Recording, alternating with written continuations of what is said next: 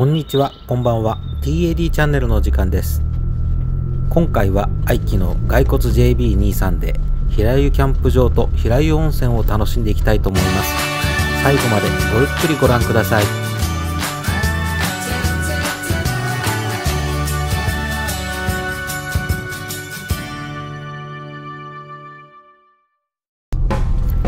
平湯キャンプ場は乗鞍岳のふもと奥飛騨温泉平湯の白樺林に囲まれた広大なフリーサイト型のオートキャンプ場です。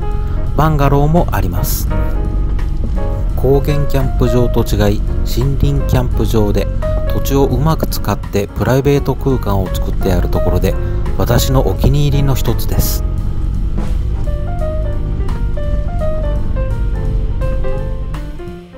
歩いて10分のところに平湯の森という温泉があるのも嬉しいポイントです。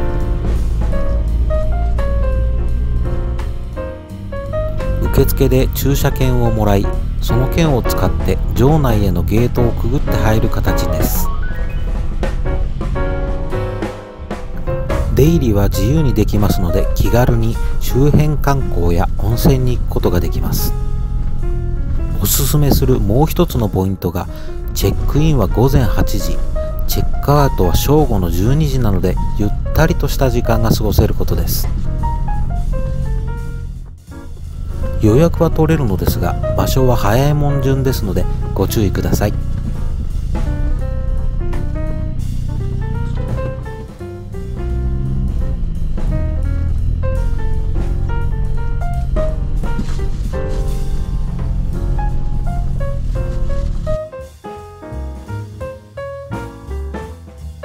今回のテントは初張りのバンドックソロベース EX です。テントマークさんの煙幕 DX も使っていますがフルコットンなので天候が悪い時など PC 膜が欲しいなーって思ってて購入しちゃいました。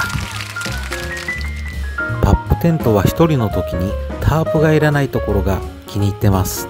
見た目も部活の感じがかっこいいですよね。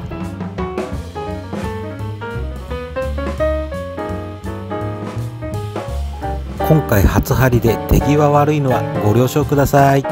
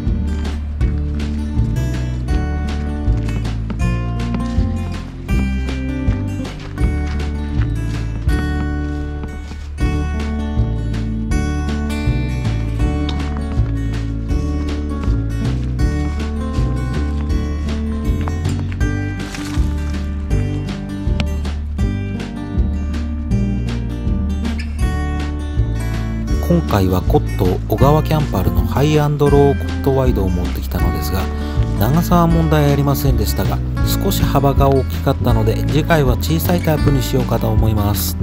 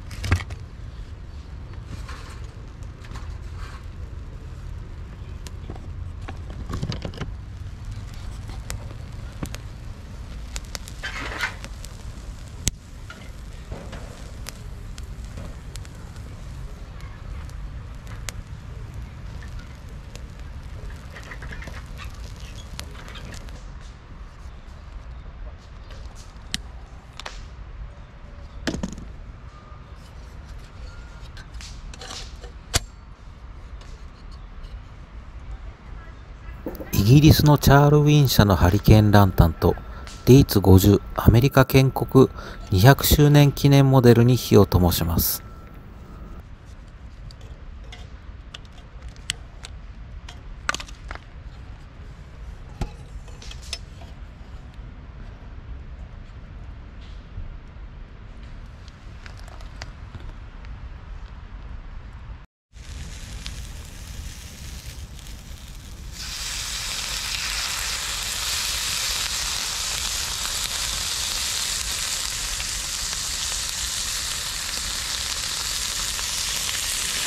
キャンプ飯は基本家で出ないものをメニューすることが多いんです。まだ子供が好き嫌いがあるので、普段食べないホルモンとニンニクの茎炒めをいただきます。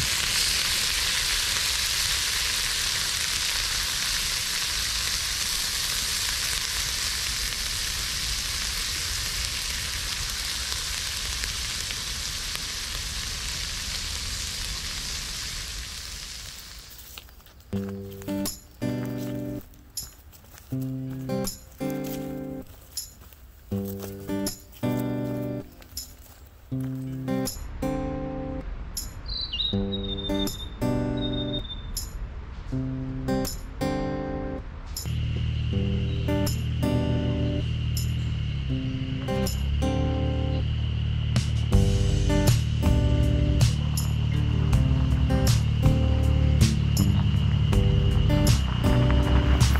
味しいお酒とつまみを堪能したので朝風呂に行くことにします。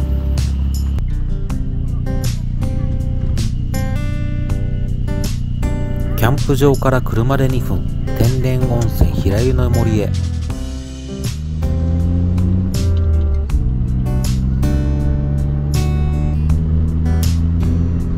平湯の湯は良質なかけ流しの温泉が注がれた野手満点の露天風呂です。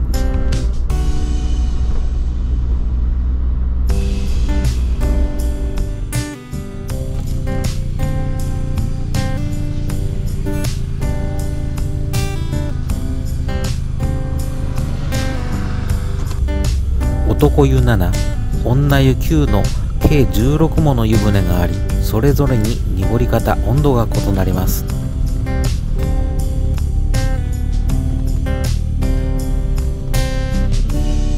残念ながらサウナもあるのですが今はコロナの関係で入ることができません。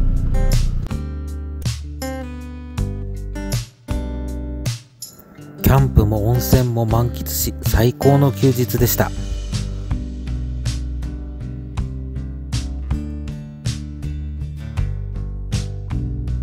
最後までご視聴いただきありがとうございました。次週は愛機骸骨ジムに最後の林道編です。チャンネル登録グッドボタンよろしくお願いいたします。